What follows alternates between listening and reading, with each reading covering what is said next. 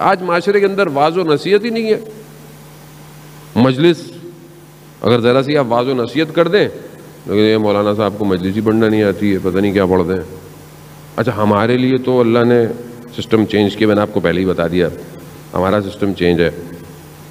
हमने तो ऐसी पढ़नी है। और वो अब माशरे में जाकर फिट हो गई है कि ऐसी भी मजलिस होती है।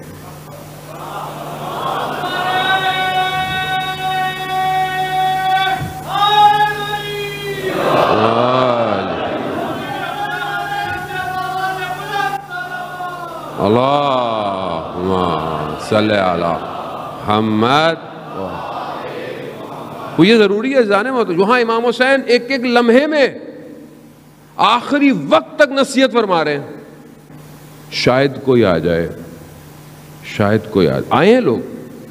लोग आए हैं, लोगों ने, जिन्होंने लेना था, लोगों ने नसीहत ली है, जिन्होंने नहीं लेना, इमाम ने क्या कहा? इमाम ने कहा, जहर छोड़ो, आ जाओ। क्यों? इनके शिकम हराम से पुर है। ये नसीहत इनको समझ में नहीं आएँगी। कुरान क्या कह रहा है? कुरान इरशाद फरमाता है कि जिसका कल्ब कसावत रखता हो, कसीउल कल्ब हो, उस कल्ब पे कोई चीज़ असर नहीं करती। उसको रोना नहीं आता। उसका दिल असरअंदाज नहीं लेता। असर कुरान कह रहा है, ख़त्म अल्लाह अल्लाह खलूबिम हमने ऐसे दिलों पे मोहर लगा दी है। इनको नसीहत नहीं आएगी। लेकिन असर पजीरी की गुंजाइश होती है, बहुत सारी जगहों पर है।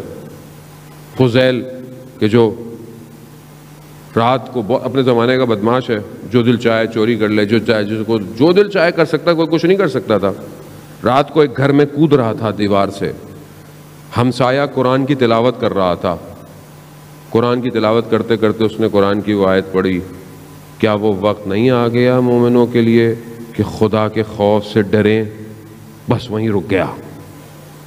कह रहा हाँ वो वक्त आ गया। एक कुरान की आयत। ये ये नसीहत है। आए तारीख में चले।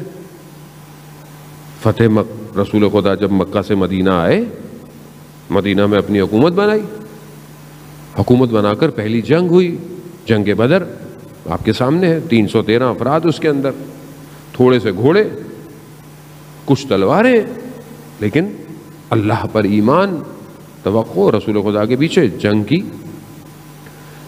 कुफ़ार मक्का शिकस्त खा गए। अब जो है वो गालिबा सईद बिन उमैर है या उमैर बिन सईद है, शख्स है बहरहाल।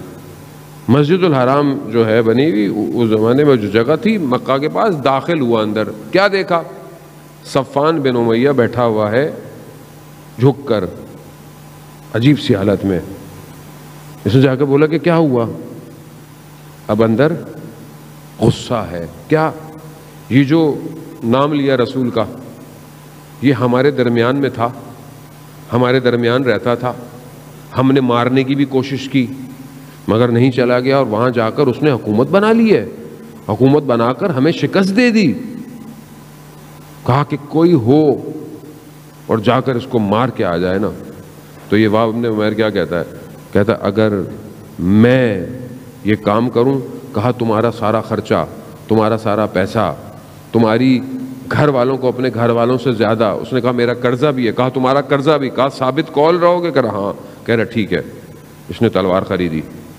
तलवार को जहर आलूदा किया। कहा, जाओगे कैसे? कहा, मेरा बेटा जंग बदर में असीर हुआ है। मैं उसको छुड़ाने जाऊँगा और रसूल को ख़त्म कर दूँगा। अब ये चला। मस्जिद मदीना पहुँचा का कैसे है? कह रहे, रसूल खुदा से मिलना है, अपना बेटा छुड़वाना है। मस्जिद नबी, रसूल खुदा बैठे हुए हैं, ये आया। रसूल खुदा ने देखा इसको, कहा, कैसे आना हुआ? कहा, अपने बेटे के लिए आया हूँ।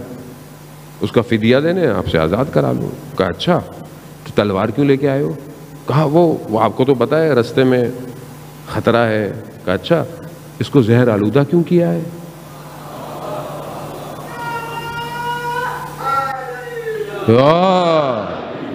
अब परेशान हो गया।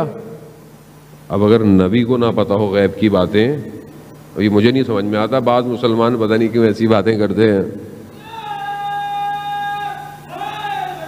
यार फिर मासूम है। गैब तो पता होगा। ये उनके लिए कौन सी बड़ी बात है? जब ये कहा ना कि ये क्यों किया तो पहले तो इनकार करने लग गया। इनकार किया इसने। कहा अच्छा मक्का के पास सफ़ान के साथ बैठकर तुमने मगर प्लानिंग नहीं की है? तुम्हारे घर वालों के पैसे देगा, तुम्हारे कर्जों को देगा। अब तो ये कहा, लगता है तीसरे शख्स आप थे वहाँ। आ गया, पाँव में पड़ गया ईमान ले आया, मुसलमान हो गया। बेटा आया, मुसलमान हो गया। अब उधर सफ़ान इंतज़ार कर रहा है रसूल को मार के आएँगे। अब ये मक्का में दाखिल हुए, कहा, क्या हुआ? कहा, हम तो मुसलमान हो गए। हम तो ये है, खाशियत असर पजीरी कबूल कर लिया रसूल को। नाराज़ हो गया वो। कहा, मैंने तुम्हें नहीं, मैं तुम्हारा बात ही नहीं की। फतेह मक्का जब हुई तो रसूल खुदा ने सबको माफ़ किया सिवाय दस लोगों के। आठ दस लोगों के सिवा सबको माफ़, उसमें ही सफान भी था। क्यों? क्योंकि इसने टेररिस्ट प्लान किया था रसूल के खिलाफ। रसूल ने खुदा कि इसको माफ़ नहीं किया जाएगा। अलबत्त रसूल ने बाद में लोगों को माफ़ कर दिया। रसूल थे रहमत आलमीन थे, माफ़ कर दिया लेकिन इसको कहा नहीं, अब इसकी जान खतरे में हो गई। अब ये निकलना, क्योंकि जब रसूल माफ़ नहीं करे तो उसका मतलब है इसको तो मारना जायज़ है, इसको तो मारना। अभी छुपे। अब वही शख्स, वहाब ने उमेर, देखें, इसलिए कहते हैं, दोस्त अच्छा होना चाहिए।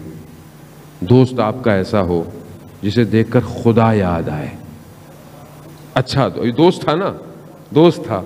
उस हालत में रसूल के पास आया, सिफारिश करने। या रसूल अल्लाह मेरा दोस्त है, माफ़ कर दीजिए।